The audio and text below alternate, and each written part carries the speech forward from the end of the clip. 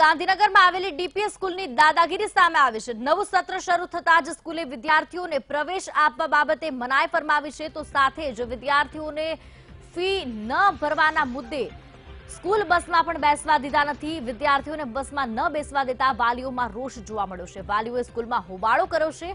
આ ઉપરાંત સ્કૂલ દ્વારા વાલીઓને ચેક નહીં, પરંતુ ઈસીએસથી ફી ભરવા માટે દબાણ કરવામાં આવ્યું છે. આ મામલે વાલીઓએ ડીઓ કચેરી ખાતે પણ ફરિયાદ કરી છે, પરંતુ ફરિયાદ કરવા છતાં કોઈ નિર્ણય ન આવતા વાલીઓમાં રોષ જોવા મળ્યો છે.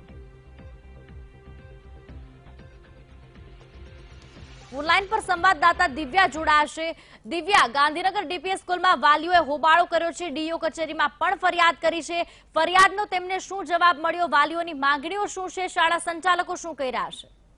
જી સીધી જણાવી દો કે ગાંધીનગર ખાતે આવેલી ડીપીએસ સ્કૂલમાં પણ અત્યારે ફરી એકવાર વિવાદ સર્જાયો છે. પ્રથમ સત્રની જે વિદ્યાર્થીઓના વાલીઓએ ફી નથી ભરી તેને લઈને તેમને આજે સ્કૂલ બસમાં બેસવા દેવામાં આવ્યા નથી. તેમજ શાળામાં પણ પ્રવેશ કરવા દેવામાં આવ્યો નથી. જેથી વાલીઓમાં પણ રોષ જોવા મળ્યો હતો અને વાલીઓએ આજે ડીપીએસ સ્કૂલ ખાતે જઈને હોબાળો કર્યો હતો. તેમજ પોલીસ કમ્પ્લેન પણ તેમની સામે સંચાલકો સામે નોંધાઈ છે. મહત્વનું છે કે એકત્રીસ માર્ચના રોજ તેમને ડીઈઓને પણ આ મામલે તપાસ કરવા તેમજ ધ્યાન દોર્યું હતું તેમ છતાં પણ કોઈ પણ પ્રકારની કાર્યવાહી ન કરતા આખરે તેમને અત્યારે સ્કૂલમાં પ્રવેશ દેવામાં આવતો નથી. જેના કારણે વાલીઓમાં પણ રોષ જોવા મળી રહ્યો છે. વાલીઓનો આક્ષેપ છે કે આ મામલે પણ શૈક્ષણિક વિભાગ કોઈ ધ્યાન લેતું નથી. વાલીઓની રજૂઆતને પણ કાન આડે હાથ કરીને બેઠી હોય તેવું જોવા મળી રહ્યું છે અને વાલીઓમાં પણ આ મામલે ખૂબ જ રોષ પણ જોવા મળી રહ્યો છે. જી.